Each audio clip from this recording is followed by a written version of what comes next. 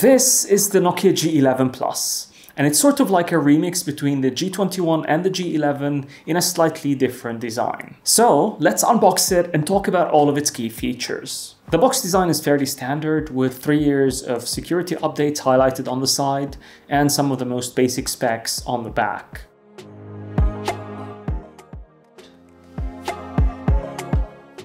Inside the box you get the handset, the SIM ejection tool, product and safety booklets in the relevant languages, a see-through jelly case depending on your region, a USB-C to USB-A charging cable, and a couple of cheap headsets.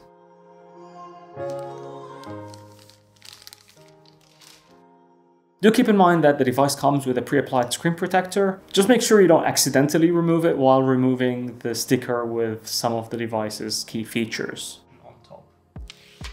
On the front you have a 6.5 inch IPS LCD display with an HD plus resolution and it also comes with a 90Hz fast refresh rate. There's a V-notch that houses an 8 megapixel front facing camera and nice chunky bezels all around. On the right you've got the volume rocker keys and the power key while the left houses the dual SIM slot and SD card slot so you can use two SIM cards as well as a micro SD slot to expand the memory. And it seems like Nokia has finally removed the dedicated Google Assistant button from the left side. On the top there is the 3.5mm headphone jack, and on the bottom there's the USB-C cable and a microphone hole. The back of the G11 Plus is fairly busy, so you have the 50 megapixel main camera, you have a 2 megapixel depth sensor and an LED flash. There's also a fingerprint scanner located in the middle of the device and a loudspeaker located near the bottom. The whole device is made out of polycarbonate plastic and it feels fairly solid in the hand. You don't get that cheap hollow feeling that some smartphones suffer from these days. The back is also textured but here it feels very smooth for a textured back. And thankfully the camera plate here isn't glossy like the G11 so it shouldn't get scratched as easily.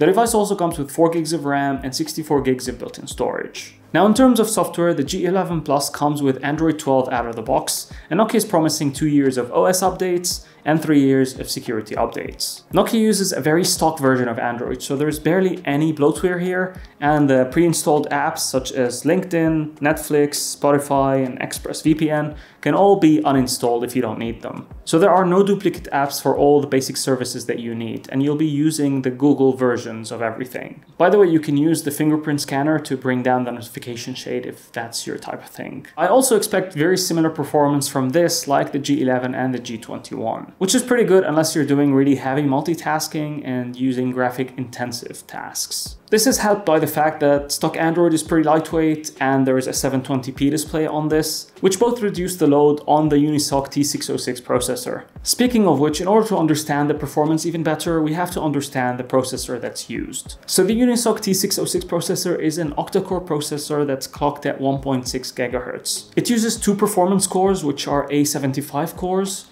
and six power efficient cores that are A55 cores. The performance cores are pretty good at giving the device the burst of energy required in order to launch apps as quickly as possible. And while the device is idle and you're not requiring a lot of performance out of it, the efficient cores are doing their job. Anyway, what this all means is that if you're using the device for social media, taking phone calls, and light multitasking, you should be absolutely fine. Now a key selling point for such a device is the battery life, and it comes with a fairly large 5000 milliamps inside. Based on my testing with the G11 and G21, which both have the exact same capacity of battery, same display type, and same processor, you can expect to get about 12 hours of screen on time from this. So up to 3 days of battery life is theoretically possible, but you do have to be pretty conservative with your usage. Realistically though, you'll end up between 2 days and 2.5 days of normal usage. In terms of camera, yes, this comes with a 50 megapixel camera, which uses AI technology,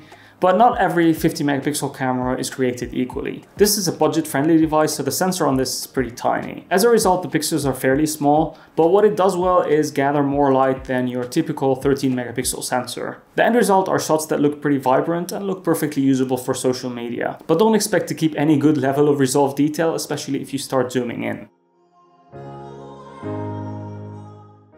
Let's capture a selfie to see how that 8 megapixel camera holds up.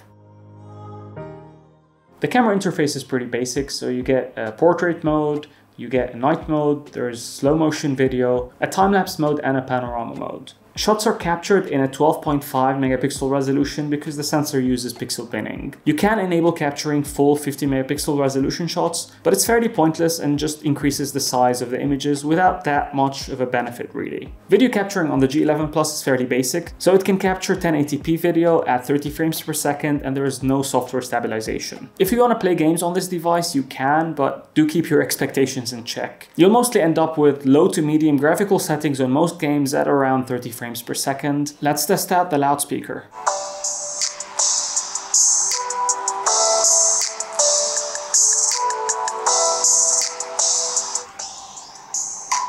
I mean, it just about does the job and you shouldn't really miss any phone calls, but don't expect high quality audio. So what do you guys think about the G11 Plus? Is this the kind of device you'd be interested in buying? Or what kind of features do you think it should have included? Share your thoughts with me in the comments below. If you want other options from Nokia within a similar price range, check out my G11 video review here, or check out my video covering the G21. Thank you very much for watching, please don't forget to share, like and subscribe, and I shall see you in the next one.